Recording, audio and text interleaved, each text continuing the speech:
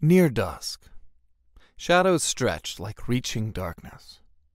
The heat from the summer day like molten claws to the chest, digging into the beating heart of a city under siege. Steam and brown water leaked from manhole covers, creating a wet fog that smelled like desperation and a complete lack of infrastructural understanding. People scurried on the sidewalks, sweat dripping down their faces in streaks like tears, silently crying out for someone to save them from themselves. Horns honked in steel gridlocks, fists shaking angrily at the car windows. Darkened buildings loomed, towers of the rich and powerful, holding the populace in the palms of their diabolically malevolent hands. Neon lights snapped and crackled, burning against the coming dark, illuminating the faces of the damned and the forgotten. Wavy heat lines rose from cracked asphalt. A reminder the extreme temperatures that had descended upon a city of steel and glass. Who will protect us? The people wailed as they darted their gazes up toward the darkening sky in fear. Who will be the champion we so desperately need? If only there was someone out there who could be the hero we deserve. Nay, the hero we require. This was a city filled with disease, tumors growing in the bones and connective tissue, spreading with no hope for a cure. This was a city trapped in a war for its very soul.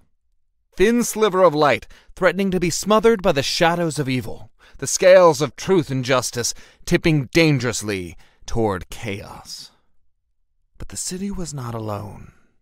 She had someone who loved her, someone who would lay down his very life to ensure her survival. Atop a small building that had once been a yogurt shop, but was now a hipster coffee lounge with logs instead of chairs because, what? A figure sat perched on the ledge like a stone gargoyle, watching hundreds of years of history pass by in the blink of an eye. This figure shifted slightly, the white lenses on his helmet flashing as the exposed mouth twisted into a furious snarl. This is my city, he growled dangerously and I will do everything I can to protect your people. His head jerked up at the sound of a scream in the distance. Hark! There's crime afoot!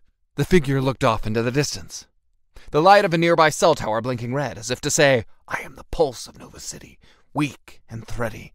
If only my life could burn forever. Yes, the amazing figure breathed. I hear you. I see you. He rose slowly, the strong muscles of his body shifting sexily underneath the costume, a symbol of freedom and hope and justice. He breathed in deeply. And I can smell you.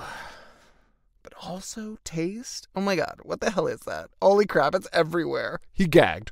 It's coating my throat. Did someone die and then their body fell in the water and now it's a bloated mess filled with gases and ballooning organs that will soon explode in a burst of. No. Focus.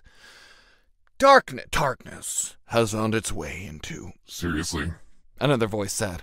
I love you, but you've been narrating out loud for the past 15 minutes, and while I appreciate your creativity, we probably should get a move on before the thieves get away with all the jewels. The extraordinary, known as Guardian, squawked as he lost his footing and fell off the ledge backward onto the roof.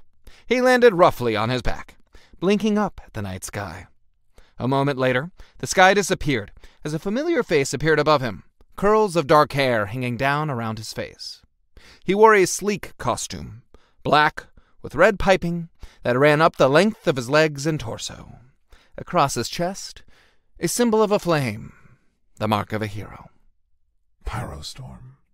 Guardian growled, voice modulated deeply through his cerulean blue helmet. He pushed himself up off the ground, ignoring the helping hand reaching toward him. I knew you'd be here. Seth blinked. I should hope so. We came together. It'd be weird if I wasn't here.